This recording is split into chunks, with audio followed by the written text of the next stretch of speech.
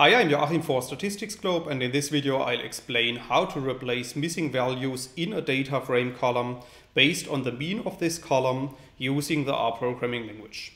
In the video I'm going to show you several examples and all of these examples are based on the data frame that we can create with lines 2 to 4 of the code. So if you run these lines of code you can see at the top right of RStudio that a new data frame has been created which is called data. And if you click on this data frame you can see that a new window appears which is showing the structure of our data.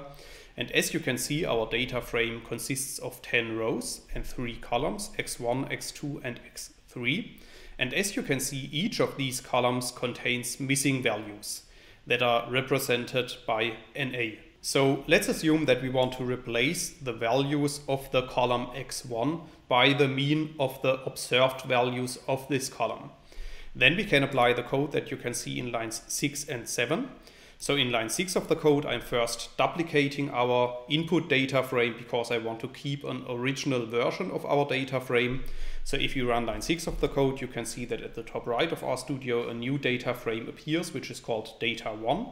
And at this point, this data frame consists of exactly the same values as our input data frame data. So if we want to replace the missing value in our first column x1 by the mean of the remaining values in this column, then we can apply the code that you can see in line 7. And in this line of code, I'm using the mean function and I'm applying this function to our first column x1. And then I'm also specifying that I want to remove the NA values from the computation of the mean.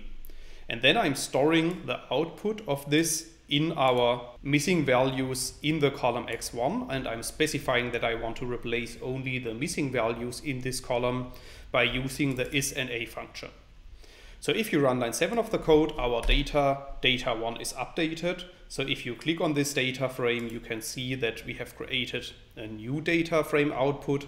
And as you can see, the missing value that was contained in the first cell in the first column in our input data frame was now replaced by the mean of the remaining rows. So in this case, the mean is 6.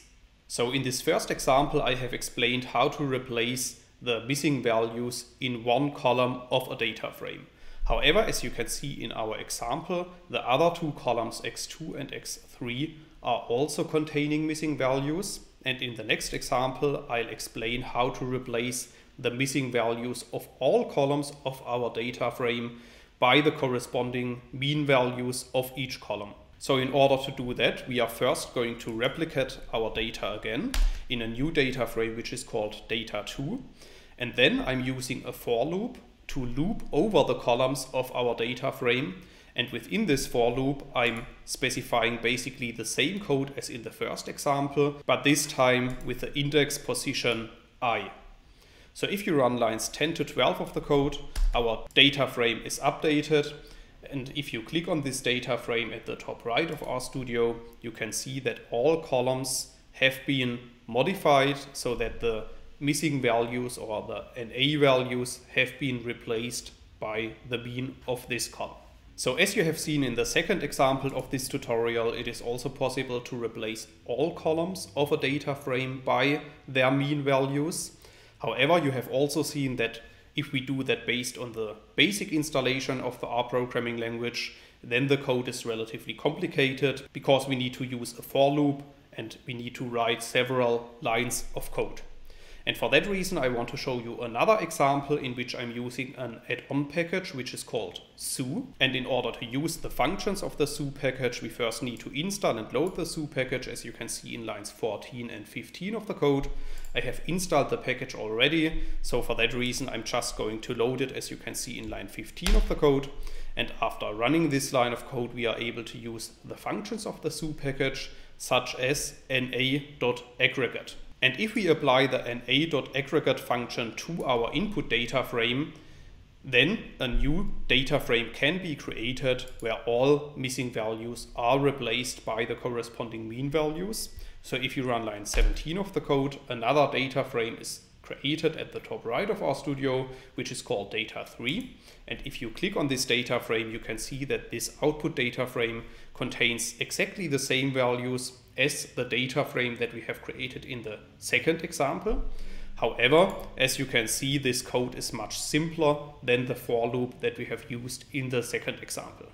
So in this video, I have explained in three different examples how to replace missing values in a variable of a data frame by the mean of this variable.